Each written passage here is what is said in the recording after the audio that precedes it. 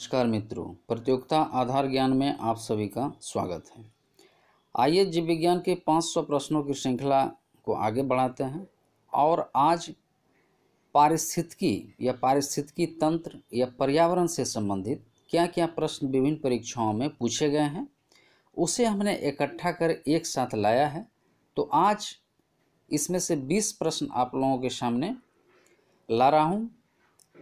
इसमें पहला प्रश्न है पारिस्थितिकी शब्द को सर्वप्रथम किसने प्रतिपादित किया? इसका सही उत्तर है विकल्प बी रीटर ने। रीटर ने अठारह सौ अड़सठ ईस्वी में पारिस्थितिकी शब्द का प्रयोग पहली बार किया। नेक्स्ट है, पारिस्थितिकी निम्न के बीच पारस्परिक संबंधों का अध्ययन है। तो इसका सही उत्तर है विकल्प ए, जीव और वातावरण। पारिस्थितिकी जीवों के वातावरण के साथ अंत संबंधों का अध्ययन है। तीसरा है, पारिस्थितिकी को पूर्ण रूप से परिभाषित और विस्तृत अध्ययन करने का श्रेय किसे है? सही उत्तर है विकल्प डी, अर्नेस्ट हैकल को। अर्नेस्ट हैकल एक जर्मन वैज्ञानिक थे, जिन्होंने पारिस्थितिकी को पूर्ण रूप से परिभाषित और इसका विस्तृत अध्ययन किया। लेकिन पारिस्थितिकी शब्द का पहली बार प्रयोग रीटर ने अठारह ईस्वी में किया। नेक्स्ट है, पारिस्थितिकी तंत्र के दो घटक कौन से हैं? तो सही उत्तर है विकल्प सी, जैविक व अजैविक। जैविक में आ जाएँगे आपके पादप या वनस्पति, जीव, जंतु। और अजैविक में आ जाएँगे आपके प्रकाश, ताप, आर्द्रता, वायु, भू आकृति, मृदा। तो जैविक में हो गया वनस्पति, पादप व जीव जंतु अजैविक में प्रकाश, ताप, आर्द्रता, वायु भू आकृति एवं मृदा और सब भी। नेक्स्ट है पारिस्थितिकी तंत्र। शब्दावली किसने प्रस्तुत की? अंतर है, पहले था पारिस्थितिकी, अब इसमें जुड़ गया पारिस्थितिकी तंत्र, यानी इकोसिस्टम पारिस्थितिकी का अंग्रेज़ी होगा इकोलॉजी और पारिस्थितिकी तंत्र का इकोसिस्टम। तो पारिस्थितिकी तंत्र या इकोसिस्टम शब्दावली किसने प्रस्तुत की? इसका सही उत्तर होगा विकल्प सी, टांसले ने। टांसले ने 1935 में पारिस्थितिकी तंत्र या इकोसिस्टम शब्द का प्रयोग किया और पारिस्थितिकी का प्रयोग पहली बार हुआ था अठारह सौ अड़सठ ईस्वी में, जो रीटर ने किया था। पारिस्थितिकी तंत्र का विस्तृत अध्ययन एवं विस्तृत रूप से परिभाषित किया था अर्नेस्ट हैकल ने। नेक्स्ट है, कौन सा कृत्रिम पारिस्थितिकी तंत्र है? जिसका सही उत्तर है विकल्प ए, धान का खेत। वन, यह प्रकृति द्वारा दिया गया है। झील भी प्रकृति द्वारा और घास का मैदान भी प्रकृति के द्वारा। लेकिन यह धान का खेत खेत तो प्रकृति द्वारा दिया जाता है, लेकिन धान का खेत पार्टिकुलर किसी फ़सल का खेत, ये मानव द्वारा या किसान द्वारा निर्मित होता है। इसलिए इसे कृत्रिम पारिस्थितिकी तंत्र कहा गया है। सातवां है, पर्यावरण के अजैव अवयव का उदाहरण है। जिसका सही उत्तर है विकल्प सी, वायु। पहले भी चर्चा हुआ है कि जैव अवयव हैं, वनस्पति जीव जंतु ये जानवर और अजैव अवयव हैं, वायु। अजैव अवयव के और उदाहरण होंगे, प्रकाश, ताप, आर्द्रता, भूआकृति और मृदा। आठवां है खाद्य श्रृंखला, या फ़ूड चैन में मानव है। इसका सही उत्तर होगा विकल्प डी, प्राथमिक व द्वितीयक उपभोक्ता। प्राथमिक उपभोक्ता हैं शाकाहारी, जो अपने भोजन को केवल पौधे पर आश्रित रहते हैं।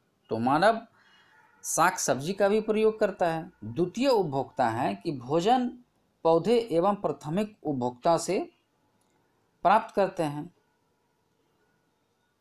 मांसाहारी व शाकाहारी दोनों इस वर्ग में आते हैं। तो मानव साग सब्ज़ी का भी प्रयोग करता है तो ये गए प्राथमिक उपभोक्ता, द्वितीय उपभोक्ता हो गए कि वो मांस मछली का भी उपयोग करता है। तो मानव खार श्रृंखला में मानव प्राथमिक व द्वितीय उपभोक्ता दोनों है। नौवा है, प्रथम विश्व पर्यावरण दिवस, किस वर्ष मनाया गया था? तो इसका सही उत्तर होगा, विकल्प ए, उन्नीस सौ तिहत्तर ईस्वी में। विश्व पर्यावरण दिवस प्रत्येक वर्ष पाँच जून को मनाया जाता है और यह पहली बार उन्नीस सौ तिहत्तर ईस्वी में मनाया गया दसवां है, किसी पारिस्थितिकी तंत्र में ऊर्जा का प्रवाह के बारे में कौन सी श्रृंखला सही है? इसका सही उत्तर है, उत्पादक, उपभोक्ता और अपघटक विकल्प सी उत्पादक हो गए कि भोजन का उत्पादन करते हैं, जैसे हरे पौधे। उपभोक्ता हो गए कि भोजन स्वयं नहीं बनाते, प्राथमिक, द्वितीयक या तृतीयक उपभोक्ता पर निर्भर रहते हैं। अपघटक हो गए कि उत्पादक व उपभोक्ता के मृत शरीर से भोजन प्राप्त करते हैं। तो पहले उत्पादक होते हैं, फिर उपभोक्ता, फिर अपघटक। जैसे हरे पौधे हो गए, उपभोक्ता मानव ले सकते हैं। मानव जब मरते हैं तो इसका भोजन अपघटक को मिलता है, यानी जीवाणु, विषाणु, प्रोटोजोआ इत्यादि को। ग्यारहवा है, कौन सा सबसे स्थिर एवं पृथ्वी का विशालतम पारिस्थितिकी तंत्र है? तो सही उत्तर है इसका विकल्प ए, जलमंडल। जलमंडल या कहीं कहीं महासागर भी रहता है विकल्प में। तो इसमें दो प्रश्न हैं, सबसे स्थिर पारिस्थितिकी तंत्र और पृथ्वी का सबसे विशालतम पारिस्थितिकी तंत्र तो ये है जलमंडल या महासागर। बारहवा है पृथ्वी शिखर सम्मेलन, कहाँ हुआ था? तो सही उत्तर है विकल्प डी, रियो डी जेनेरो में। पर्यावरण व विकास पर संयुक्त राष्ट्र संघ का सम्मेलन उन्नीस में हुआ था। ब्राज़ील के एक शहर रियोडी जेनेरो में इसे ही पृथ्वी शिखर सम्मेलन नाम दिया गया था। तेरवा है पारिस्थितिकी संतुलन बनाए रखने के लिए भारत में वन क्षेत्र कितने प्रतिशत होने चाहिए? इसका सही उत्तर है विकल्प सी, तैतीस प्रतिशत। तैतीस प्रतिशत वन हमारे पृथ्वी पर भारत में होने चाहिए। चौदह है हाइड्रोपोनिक्स संबंधित है। इसका सही उत्तर है विकल्प ए, मिट्टी के बिना पौधे की वृद्धि से। फ़सलों को बिना खेत में लगाए केवल पानी व पोषक तत्वों की मदद से उगाया जाता है। इससे पानी की बचत एवं पर्यावरण को भी कम क्षति होती है। ये हाइड्रोपोनिक्स विधि पर्यावरण के अनुकूल है, यानी बिना मिट्टी के खेती इसमें की जाती है। नेक्स्ट है एपीफाइटस बहुत अधिक विकसित ऐसे पौधे हैं जो अन्य पौधे पर निर्भर रहते हैं। इसका सही उत्तर है विकल्प बी यांत्रिक मदद हेतु। मतलब यह है कि किसी पौधे पर अन्य पौधे अपना विकास कर लेते हैं। वो जैसे कुछ लताएँ देखते होंगे वो उस, उसमें पूर्ण रूप से लिपट जाती हैं और उसी वृक्ष के सहारे ऊपर तक बढ़ते हैं। तो ये है कि पौधे की सतह पर बढ़ता है। हवा, वर्षा, पानी या नमी के लिए आसपास जमा होने वाले मलबे से ये वर्षा, पानी नमी प्राप्त करते हैं। कोई जैसे वृक्ष खड़ा रहता है, इसी वृक्ष में ऐसे लिपट के ये अपना विकास करते हैं। तो ये आंतरिक मदद के लिए, एक सहारे के लिए अन्न पौधे का उपयोग करते हैं। नेक्स्ट है, रेगिस्तान में पैदा होने वाले पौधे कहलाते हैं। इसका सही उत्तर है विकल्प सी, ज़ीरो फैटस। रेगिस्तान या मरुस्थल में पैदा होने वाले पौधे को ज़ीरो फैटस बायोलॉजी में कहा जाता है। नेक्स्ट है, पर्यावरण जागरूकता के अंग्रेज़ी अक्षर पी से प्रारंभ होना, होने वाले प्रसिद्ध तीन शब्द कौन से हैं? ये तीन शब्द हैं पॉपुलेशन पॉवर्टी और पॉल्यूशन इन तीनों का आपस में अंत संबंध है। इसलिए पर्यावरण में पी से प्रारंभ होने वाले तीन प्रसिद्ध शब्द हैं पॉपुलेशन पॉवर्टी पॉल्यूशन क्योंकि ये तीनों आपस में अंत संबंधित हैं। अठारवा है कौन सा जोड़ा सही है? इसका सही उत्तर है विकल्प बी, अपघटक होंगे बैक्टीरिया। बैक्टीरिया बैक्टीरिया, ये अपघटक के और उदाहरण होंगे। जीवाणु, विषाणु, कवक, प्रोटो जोआ जैसे देखिए, घास घास ये प्राथमिक उपभोक्ता हैं।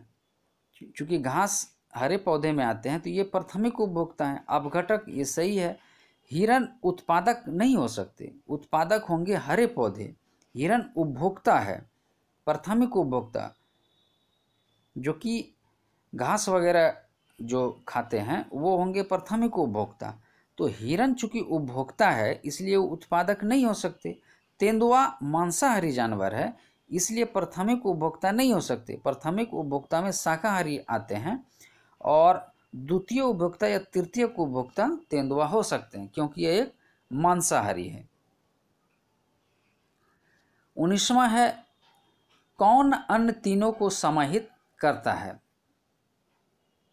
तो इसका सही उत्तर है विकल्प ए, पारितंत्र। पारितंत्र की परिभाषा है कि किसी स्थान पर पाए जाने वाले किसी जीव समुदाय का वातावरण से अथवा अन्य जैविक समुदाय से परस्पर संबंध होता है। इसी संबंध को पारितंत्र कहते हैं। पारितंत्र मतलब समुदाय कम्युनिटी आबादी तो आवश्यक है, जीवों की आबादी होगी और इसमें विभिन्न प्रकार के प्रजाति भी होंगे।